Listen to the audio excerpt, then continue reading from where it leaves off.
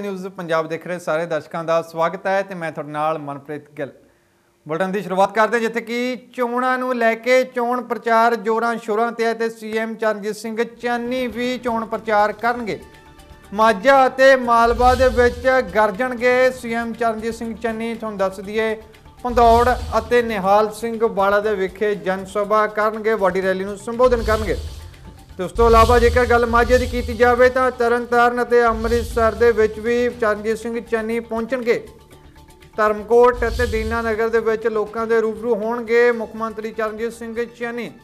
ਤੇ ਦੁਬਾਰਾ ਫਿਰ ਕਾਂਗਰਸ ਹਾਈ ਕਮਾਂਡ ਨੇ ਚਰਨਜੀਤ ਸਿੰਘ ਚੰਨੀ ਨੂੰ ਸੀਐਮ ਦਾ ਕੈਂਡੀਡੇਟ ਬਣਾ ਦਿੱਤਾ। ਇੱਕ ਮੌਕਾ ਹੋਰ ਚਰਨਜੀਤ ਸਿੰਘ ਚੰਨੀ ਨੂੰ ਦਿੱਤਾ। ਉਹਨਾਂ ਦੀ 111 ਦਿਨਾਂ ਦੀ ਕਾਰਗੁਜ਼ਾਰੀ ਤੋਂ ਪ੍ਰਸੰਨ ਹੋ ਕੇ ਚਰਨਜੀਤ ਸਿੰਘ ਚੰਨੀ, ਸ਼੍ਰੀ ਚਮਕੌਰ ਸਾਹਿਬ ਤੋਂ ਇਲਾਵਾ ਹਲਕਾ ਭਦੌੜ ਤੋਂ ਵੀ ਚੋਣ ਲੜ ਰਹੇ ਨੇ। ਚੋਣ ਪ੍ਰਚਾਰ ਜੋਰਾਂ ਸ਼ੋਰਾਂ ਤੇ ਹੈ। ਇਸ ਸਮੇਂ ਸਿਆਸੀ ਅਖਾੜਾ ਪੂਰੀ ਤਰ੍ਹਾਂ ਪੱਖਿਆ ਹੋਇਆ ਤੇ ਚੋਣ ਪ੍ਰਚਾਰ ਦੇ ਵਿੱਚ ਰੁੱਝੇ ਹੋਏ ਨੇ ਮੁੱਖ ਮੰਤਰੀ ਚਰਨਜੀਤ ਸਿੰਘ ਚੰਨੀ। ਮਹਿਜ 3 ਦਿਨ ਰਹਿ ਚੁੱਕੇ ਨੇ। 20 ਫਰਵਰੀ ਨੂੰ ਵਿਧਾਨ ਸਭਾ ਚੋਣਾਂ ਨੇ ਤੇ 19 ਫਰਵਰੀ ਤੱਕ ਪੂਰਾ ਦਮ ਤੜਾਉਣਗੇ ਸਿਆਸੀ ਆਗੂ। ਤੇ ਹੁਣ ਦਿਨ ਰਾਤ ਇੱਕ ਕੀਤਾ ਹੋਇਆ ਚੋਣ ਜਾਬਤੇ ਦੇ ਅਨੁਸਾਰ ਤੁਹਾਨੂੰ ਦੱਸ ਦਈਏ, ਚੋਣ ਕਮਿਸ਼ਨ ਦੀਆਂ ਜੋ ਹਦਾਇਤਾਂ ਸੀ ਉਸ ਦਾ ਵੀ ਪਾਲਣ ਕੀਤਾ ਜਾ ਰਿਹਾ ਹੈ, ਪਰ ਹੁਣ ਥੋੜੀ ਢਿੱਲ ਦਿੱਤੀ ਹੋਈ ਹੈ। ਇਲੈਕਸ਼ਨ ਕਮਿਸ਼ਨ ਨੇ 50% ਦੀ ਸਮਰੱਥਾ ਦੇ ਨਾਲ ਰੈਲੀਆਂ ਅਤੇ ਰੋਡ ਸ਼ੋਅ ਕਰ ਸਕਦੇ ਨੇ। ਸਿਆਸੀ ਆਗੂ ਤਾਂ ਇਸੇ ਸਿਲਸਿਲੇ ਦੇ ਵਿੱਚ ਚਰਨਜੀਤ ਸਿੰਘ ਚੰਨੀ ਵੀ ਚੋਣ ਪ੍ਰਚਾਰ ਕਰਨਗੇ ਮਾਝਾ ਅਤੇ ਮਾਲਵਾ ਦੇ ਵਿੱਚ। ਭਾਰਤ ਤੋਂ ਇੰਡੀਆ ਨਿਊਜ਼ ਪੰਜਾਬ ਦੇ ਪੱਤਰਕਾਰ ਨੇ ਸੰਦੀਪ ਸਿੰਘ ਫੋਨ ਲਾਈਨ ਤੇ ਸਾਡੇ ਨਾਲ ਜੁੜ ਚੁੱਕੇ ਨੇ। ਗੱਲਬਾਤ ਉਹਨਾਂ ਦੇ ਨਾਲ ਕਰ ਲੈਂਦੇ ਆ ਜੀ ਸੰਦੀਪ, ਕੀ ਸਥਿਤੀ ਹੈ? ਕੀ ਸ਼ਡਿਊਲ ਰਹਿਣ ਵਾਲਾ ਚਰਨਜੀਤ ਸਿੰਘ ਚੰਨੀ ਦਾ ਚੋਣ ਪ੍ਰਚਾਰ ਕਰਨਗੇ। ਅਪਡੇਟ ਇਹ ਹੈ ਕਿ ਮਾਝਾ ਅਤੇ ਮਾਲਵਾ ਦੇ ਕਈ ਹਲਕਿਆਂ 'ਚ ਜਾਣਗੇ।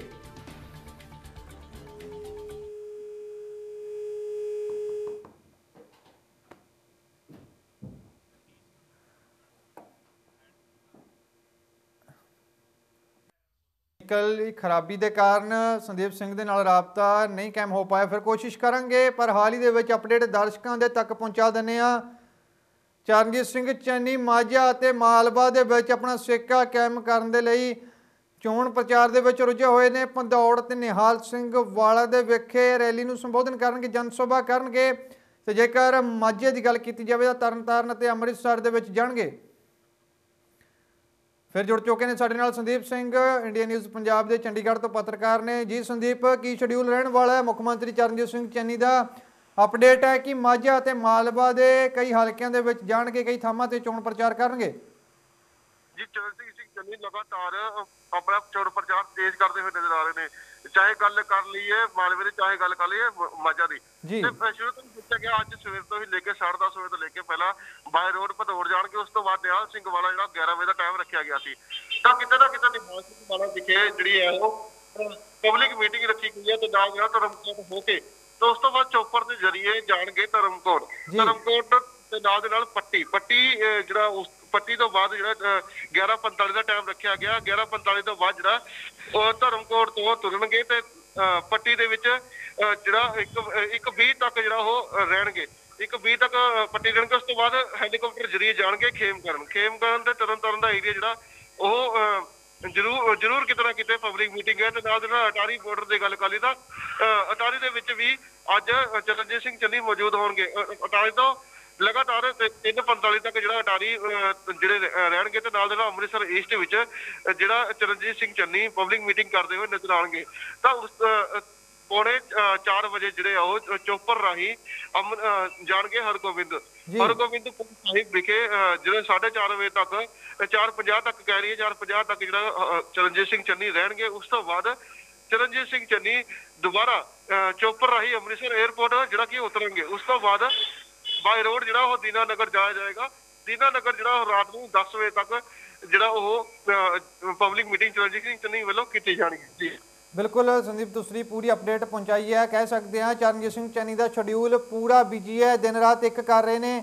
ਤਾਂ ਹੁਣ 19 ਫਰਵਰੀ ਤੱਕ ਇਸੇ ਤਰ੍ਹਾਂ ਜੋ ਚੋਣ ਪ੍ਰਚਾਰ ਸਿਖਰਾਂ ਤੇ ਰਹੇਗਾ ਚਰਨਜੀਤ ਸਿੰਘ ਚੰਨੀ ਦੇ ਵੱਲੋਂ। ਜੀ ਲਗਾਤਾਰ ਦੇਖਿਆ ਜਾਵੇ ਜਦੋਂ ਤੋਂ ਚੋਣ ਪ੍ਰਚਾਰ ਚੋਣਾਂ ਦਾ ਐਲਾਨ ਕੀਤਾ ਗਿਆ ਤਾਂ ਚਰਨਜੀਤ ਸਿੰਘ ਚੰਨੀ ਕਿਤੇ ਨਾ ਕਿਤੇ ਪਬਲਿਕ ਮੀਟਿੰਗ ਤੇ ਲੋਕਾਂ ਦੇ ਵਿੱਚ ਵਿਚਰਦੇ ਹੋਏ ਜ਼ਰੂਰ ਨਜ਼ਰ ਆ ਰਹੇ ਨੇ ਤਾਂ ਆਮ ਬੰਦਾ ਆਪਣੇ ਆਪ ਨੂੰ ਕਹਿੰਦੇ ਹੋਏ ਨਜ਼ਰ ਆ ਰਹੇ ਨੇ ਲੋਕਾਂ ਦੀ ਜਿਹੜੀਆਂ ਦਿੱਕਤਾਂ ਨੇ, ਉਹਨਾਂ ਨੂੰ ਕਿਤੇ ਨਾ ਕਿਤੇ ਜ਼ਮੀਨੀ ਸਤਰ ਤੋਂ ਦੇਖਦੇ ਹੋਏ ਨਜ਼ਰ ਆ ਰਹੇ ਨੇ।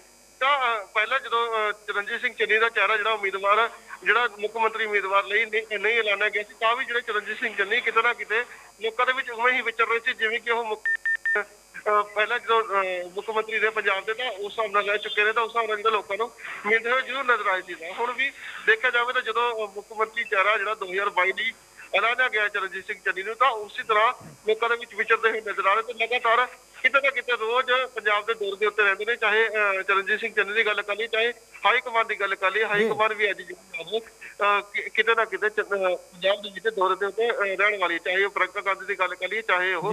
ਗੱਲ ਕਰ ਸੂਰਿਆ ਦੀ ਜੀ ਬਿਲਕੁਲ ਇੱਕ ਜਾਣਕਾਰੀ ਹੋਰ ਲੈਣਾ ਚਾਹਾਂਗੇ ਸੰਦੀਪ ਜੀ ਤੁਹਾਡੇ ਤੋਂ ਤੇ ਕਹਿਣਾ ਵੀ ਗਲਤ ਨਹੀਂ ਹੋਵੇਗਾ ਤੇ ਇਸ ਦੇ ਵਿੱਚ ਕੋਈ ਵੀ ਸ਼ੱਕ ਨਹੀਂ ਹੈ ਕਿ ਚਰਨਜੀਤ ਸਿੰਘ ਚੰਨੀ ਸ਼੍ਰੀ ਚਮਕੌਰ ਸਾਹਿਬ ਹਲਕੇ ਤੋਂ ਮੱਲ ਮਾਰਦੇ ਆਏ ਨੇ, ਜਿੱਤਦੇ ਆਏ ਨੇ ਹੁਣ ਤੱਕ ਤੇ ਸ਼੍ਰੀ ਚਮਕੌਰ ਸਾਹਿਬ ਹਲਕੇ ਤੋਂ ਇਲਾਵਾ ਪੰਧੌੜ ਤੋਂ ਵੀ ਚੋਣ ਲੜ ਰਹੇ ਨੇ, ਤਾਂ ਸਿਰਫ ਚਰਨਜੀਤ ਸਿੰਘ ਚੰਨੀ ਹੀ ਨੇ ਕਾਂਗਰਸ ਪਾਰਟੀ ਦੇ ਇਕਲੌਤੇ ਉਮੀਦਵਾਰ, ਜਿਨ੍ਹਾਂ ਨੂੰ ਦੋ ਹਲਕਿਆਂ ਤੋਂ ਚੋਣ ਲੜਨ ਦਾ ਮੌਕਾ ਮਿਲ ਰਿਹਾ ਹੈ।